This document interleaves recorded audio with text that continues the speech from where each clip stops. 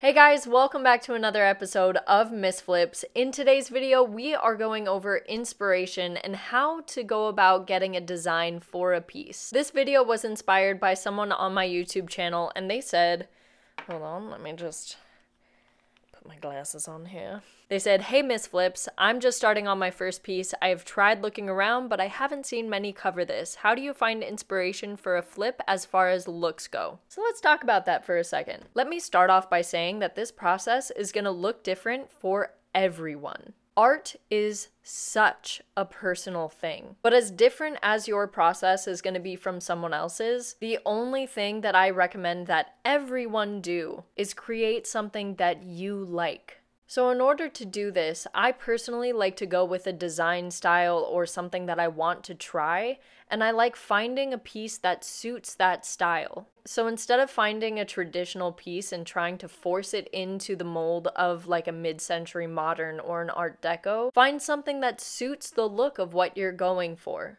So, for example, I had a client who wanted something that was really atomic and retro and cool. So, instead of going with a cabinet that was a little bit more Art Deco, we went for a bar cabinet that was made in the time that the atomic style came around. And it just so happened that the atomic design fit this piece perfectly. But something that is also really important to take into account is whether or not this piece is going to be more or less valuable after you do something to it. So, for example, there are pieces that I will not touch with a paintbrush unless I'm putting a top coat on it to seal the piece. So for example, this desk right here, okay, I found it. If you haven't seen this video yet, please go and check it out because it is insane. I found this desk at a thrift store for $35.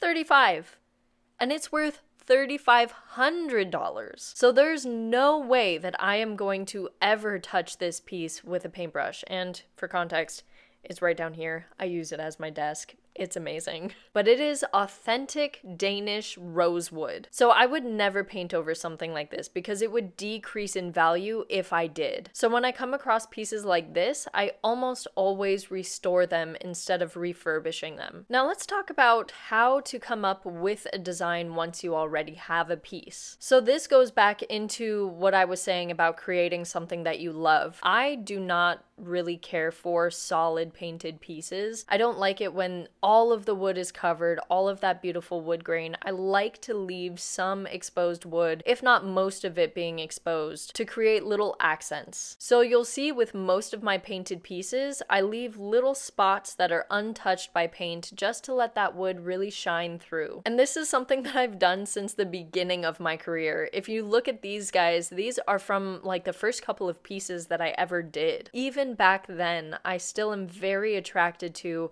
partially painted, partially wood pieces. That's just what I like. So, a lot of the ones that I do, I try to implement that or find ways to implement that style into the piece where I can. Now, when it comes to the design that I put on a piece, I oftentimes look at what the piece is already giving me. So, whether or not it has different shapes on the piece or a wood grain that I want to leave open or work with, or for example, with this cabinet right here, as you can see, I put designs in the fogged glass. They had really thin brown lines etched into the glass, and all I did was put pieces of tape in between those lines and created that fogged glass effect. So I worked with what the piece already gave me and created a design out of that. Also, with something like this, for example, the wood grain that was already on the bar cabinet had this beautiful kind of diamond effect to it. It had like kind of a rounded diamond shape. And so I went ahead and worked with the diamond shape that the veneer naturally had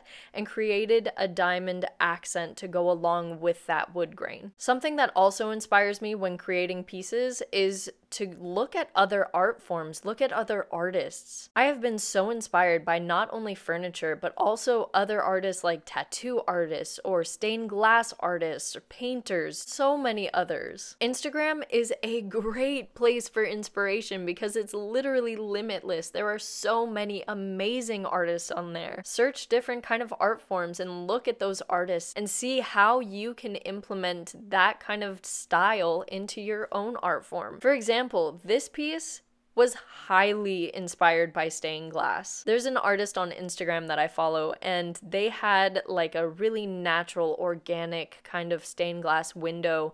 And I took inspiration from that, both color wise and shape wise, and I put that onto doors with paint. And with these pieces, this was for a challenge that was inspired by traditional tattoos, but instead of going the more traditional route, I went more towards neo traditional and decided to do line art all over these pieces.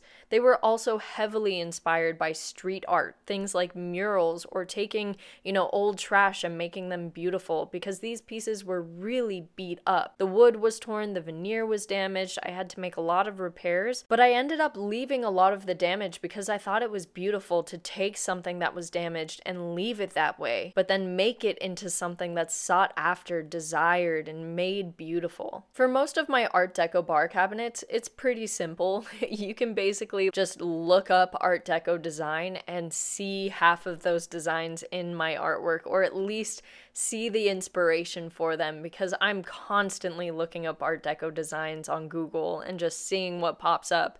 And I just pull inspiration from those designs and kind of just sandwich everything together so that it just creates this beautiful kind of fluid design. But then others are very specific to what a client wants. So for example, this client wanted something that was representative of the Chrysler building because she lives in New York. So I took the Chrysler building design and I turned it into an art deco kind of stylized version of that. Also, something that might help you if you're just starting out furniture flipping is doing dupe challenges, challenging yourself. It doesn't even have to be involved with like an official dupe challenge or a YouTuber or a channel, whatever. It can just be you finding a piece that you like and then finding a piece on Facebook Marketplace or whatever and trying to recreate that piece. That's exactly what I did with this piece here. I did this for a dupe challenge probably about a year ago now, and this was the result. I wasn't even sure if the technique that I was using was gonna work, but it ended up working beautifully. Which leads me into another point do not be afraid to experiment. I cannot tell you how many times I have tried something and failed miserably. For example, these two pieces, I didn't even get the final video done until a week after the challenge was due, just because I wasn't getting the desired effect that I wanted, but I tried and it was a lot of trial and error. But at the end, I found something that worked, and I found something that gave me that kind of gritty, dirty feel that I wanted. And that wouldn't have happened if I just was like, oh, I don't know how to do that, I'm not gonna try. I finally found something that worked. Something that I would have never found out unless I tried it like I did with this piece is that you can create dimensions and separate designs just by the stain color you choose. So you don't even have to paint a piece in order to create a really cool design. You can still show all the wood grain, you can appreciate the natural beauty of the wood grain itself on these pieces, but still add a little bit of flair, a little bit of texture with the color of stain. And that's something that I never would have known unless I tried, because I had never seen someone try to do this type of thing until I did it. Now, I'm not saying that I am the first one to do it by any means because I have no idea if I am or not. I just know that I personally had never seen this style before. Something that always keeps me inspired is nature. I am always trying to implement organic shapes. And when I'm not doing commissions, that's more than likely the design that I'm gonna go for. So things like leaves and circles and organic just kind of like you know just just flow state kind of art is is what i tend to gravitate towards most so trying to implement the things that you love most into your art that to me is is the best form of inspiration. Another thing that inspires me is if there's two of something. So if there's doors or if I'm working on nightstands, I always try to play off of that and try to make things symmetrical or mirrored. So if you look at these nightstands, for example, I painted the same design but mirrored on each of the nightstands.